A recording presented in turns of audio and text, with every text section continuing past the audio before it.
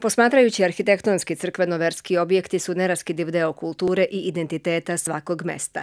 Bez obzira na to da li redovno odlaze u crkvu ili ne, sugrađani se slažu da crkva kao jedan od najupečatljivijih objekata lokalne sredine treba da bude uređena. I treba da budu uređeni kad narod tamo dolazi, a i sam narod treba da održava red. Jako pozitivno i vrlo je bitno da su hramovi uređeni. Pa zbog boljeg osjećaja, mada odlazak u crkvu je uvijek dobar osjećaj, ali uvijek je bolje da nešto lepše izgleda i da čovjek tu se lepše osjeća.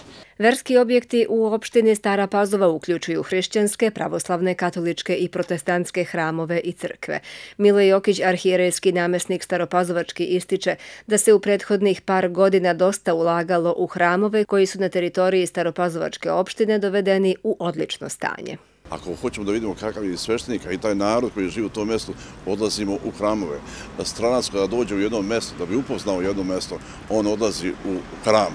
I gledajući hram iz polja i iznutra, on donosi odluku i zaključak kakvi su žitelji tvoga mjesta. Trenutno je u toku izgradnja hrama prednost moštiju prepodobne majke Angeline u naselju Banovci Dunav. Lokalna samouprava je prepoznala obavezu ulaganja u objekte koji su značajni za vernike, ali imaju značaj i kao kulturno-istorijski spomenici.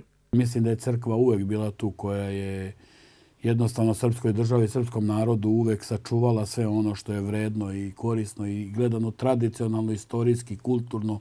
U svakom smislu ti objekti su jako važni.